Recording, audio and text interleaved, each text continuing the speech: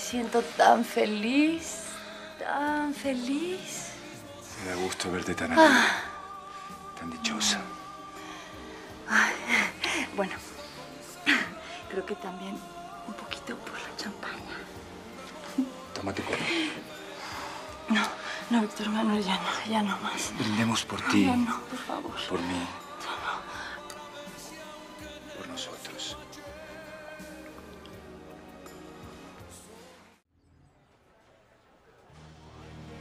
Ti te estaba buscando. ¿Te acuerdas de mí? No puedo olvidar a quien más odio en esta vida. Yo te odio más a ti. Tú arruinaste mi vida. Conmigo no le queda hacerse la víctima. No, no, señora. la víctima fue mi pobre hijo a quien les he hecho tanto daño. ¿Y el que él me hizo a mí qué? Tú lo provocaste. Tú fuiste el demonio que lo envolvió en el pecado. Por tu culpa él rompió su virtud. También era virgen. Además, mi amor por él era tan puro y secreto que solo se lo había confesado a No Dios. menciones a Dios con esos labios manchados de pecado. El pecado lo cometimos, Juan de la Cruz. Él Ya yo se confesó y fue absuelto. ¡Ah, qué cómodo! ¿Y por eso ya puede vivir tranquilo? Para él fue un momento de debilidad. Pues aquel momento de debilidad tuvo consecuencias, señora. Nació una criatura. Usted sabía que yo iba a ser madre y se lo ocultó. Cállate, cállate. Usted, tan religiosa, tan piadosa, y no sintió miedo de la justicia divina. Hice lo que tenía que hacer. Ya lo viste tú de todas maneras. Tiraste a tu hija a la calle. Ese es mi gran remordimiento. Pero yo no soy la única culpable. También lo son Juan de la Cruz y usted. Usted más que nadie. Y por eso se va a consumir en las llamas del infierno. Lárguese o no respondo. Tienes miedo de que tus empleados se enteren de quién eres en realidad. ¿Y usted no tiene miedo de que todo el mundo se entere de que su hijo, el sacerdote, es un pecador?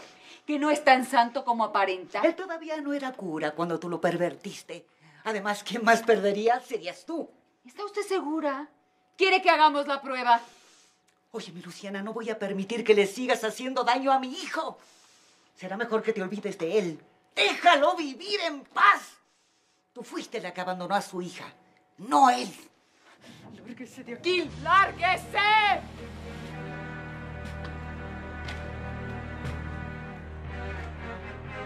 La gente no creería que no soy feliz. De no ser por ustedes.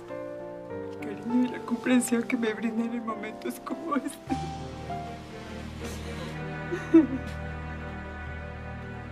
¿Por qué está usted abrazando a mi esposa?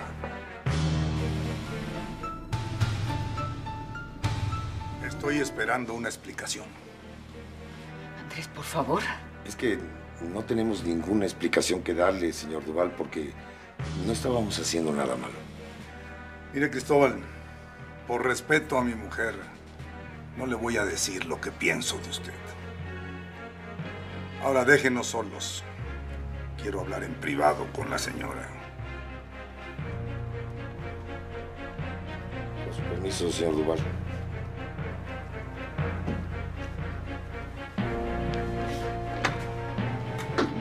¿A qué viniste? Hablar contigo. No sigas reclamándome. Cristóbal es solo un empleado.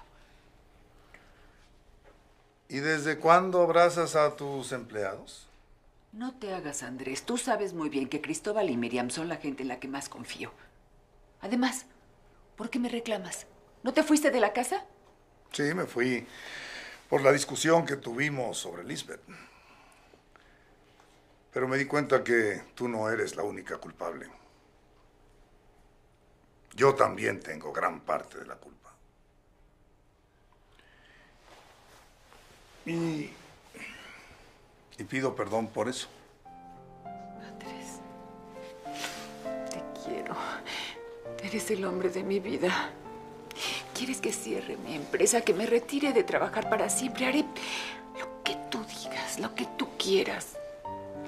Pero decídelo ahora.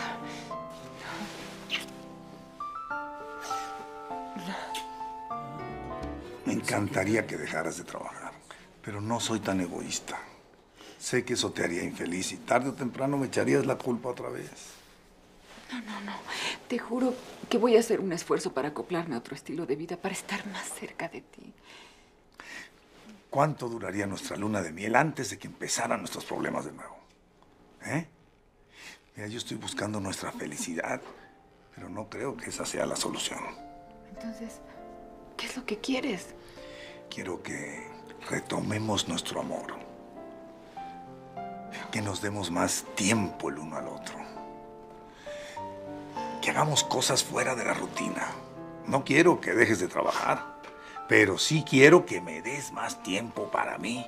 Andrés, entonces eso quiere decir que todavía me quieres. No, no te quiero, te adoro. Por eso me duele tanto lo que nos está pasando. Vamos a darnos otra oportunidad. Yo no puedo. No quiero perderte. Qué nervios. Tengo mucha prisa. ¿Sabes si Víctor Manuel va a venir o no? No lo sé, salió y no dijo dónde iba. Hola, mira. Ah, mira, precisamente estaba hablando de ti. Seguro que mal. Claro que mal. Mira, Víctor Manuel, el que hace a dos conejos al mismo tiempo, si no es que se le quema uno, se le queman los dos. Y sin contar la conejita que tienes de viaje por allá por las Europas, ¿eh? Eres de lo peor, fíjate. Solo viniste a decirme esa tonterías. Pues no, ah, no. Te traía el presupuesto del viaje a Nueva York. Oye, Cristóbal quiere que lo revises. ¿Mm? Chaoito, y aprende a cocinar conejo. Ay, conejo. Conejo, me conformo. Este Franco es un caso especial. ya tengo listos los, los balances de producción, pero tu mamá no ha llegado. ¿De dónde vienes? De reconciliarme con Cristina. Claro, mi técnica padrino de primera comunión no me falló. También le regalé un anillo. Entonces la cosa va en serio. Ah, Por supuesto que no, es parte del plan para hacerla caer. No te das por vencido. Claro que no. Cristina es muy linda, muy atractiva. Pero yo no quiero nada en serio con ella. Usted no tiene por qué molestarme aquí en mi casa. En mi oficina hablamos lo necesario. Si vino de nuevo a reclamarme, déjeme en paz. He venido a amenazarte. Si vuelves a molestar a mi hijo, soy capaz de matarte. Ay, señora, usted siempre avasallando, humillando, tratando de destruir. Pero ¿sabe qué? Ya no me asusta. Dile a Juan de la Cruz que esa hija no es suya. Regrésale la paz a mi hijo. ¿Me está pidiendo que le mienta a un sacerdote? ¿Pero dónde está su religiosidad, señora? ¿Cómo puede ser tan insensible? ¿Por qué me pide que mienta? Abandoné a mi hija. Quizá nunca la encuentre, quizá nunca sepa de ella. Quizá no sepa la suerte que corrió, si ha sufrido, si ha padecido. A mí eso no me importa. Claro. ¿Cómo va a importarle? Pero no olvide que usted pudo evitar que yo abandonara a la niña. Y decidió no ayudarme. Y si algo malo le ha pasado, caerá sobre su conciencia. No, no, basta, basta, ya no quiero oírte más. Señora Ana Joaquina, pensado que aquella criatura llevaba su sangre, que era su nieta. Esa maldita bastarda no es nada mío. Nunca la reconoceré. ¿Cómo me gustaría que eso fuera así, señora? Si mi hija estuviera a mi lado y supiera cómo me trató usted cuando estaba embarazada, a lo mejor sería mi hija, su nieta, quien renegara de su sangre. ¿Qué pasa? ¿Qué ocurre? ¿Por qué esos gritos? La señora ya se va. Váyase antes de que la corra como a una sirvienta. Como puede ver, hoy soy tan señora como usted. Estás advertida, Luciana. Señora, Déjala, Víctor Manuel. mamá, ¿qué pasa? ¿Quién es esa señora? Vino a hablar de un asunto privado. Te agradeceré, no le cuentes nada a tu padre. Ni a nadie.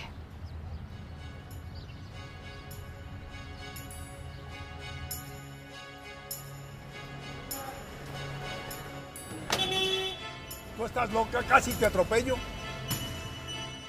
Espero que comprendas.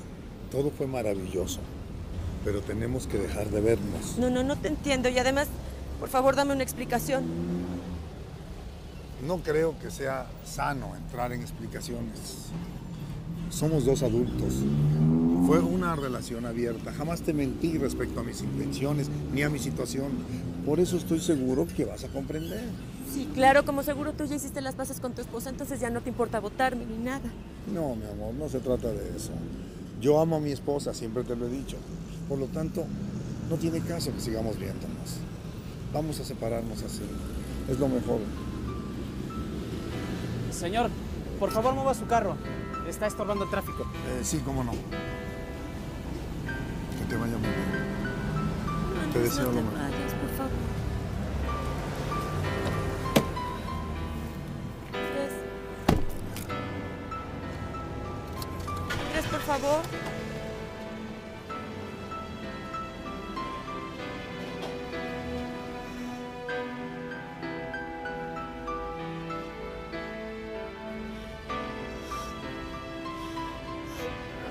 Dejar tan fácilmente, Andrés.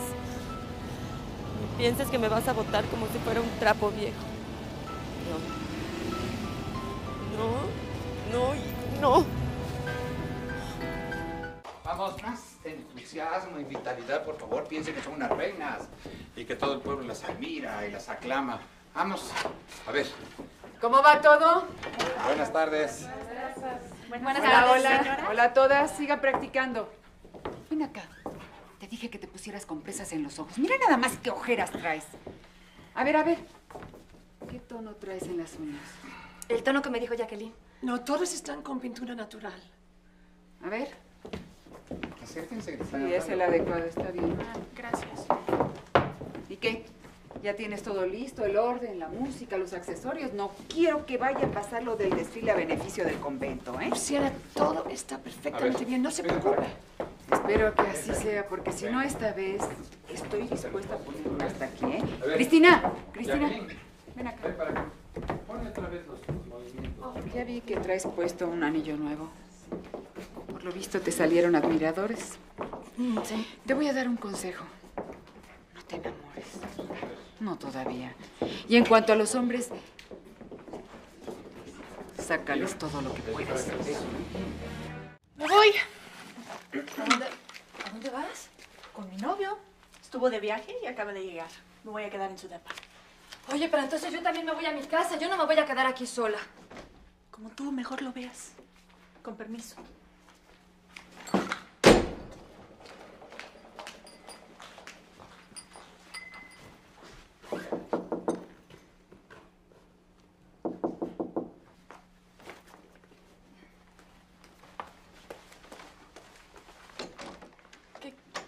Traje esto para festejar tu éxito.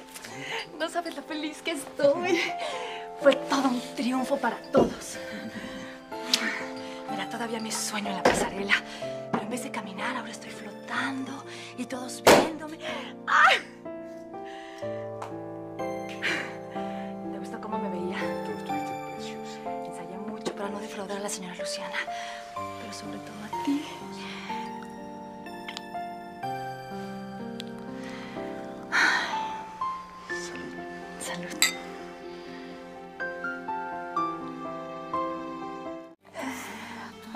la música, las luces, todos, todos esos aplausos. Ay, todo me parece un sueño, Víctor Manuel. ¿Mm? Un maravilloso sueño hecho realidad.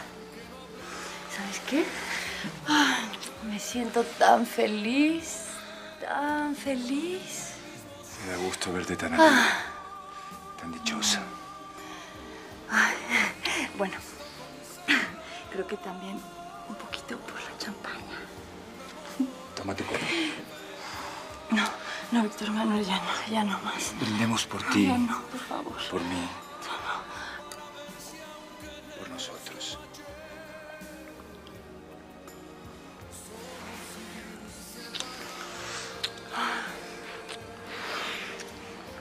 Quisiera detener este momento, parar el tiempo.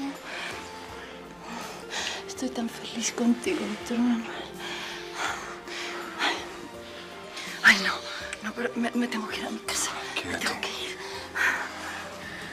Quédate conmigo esta noche.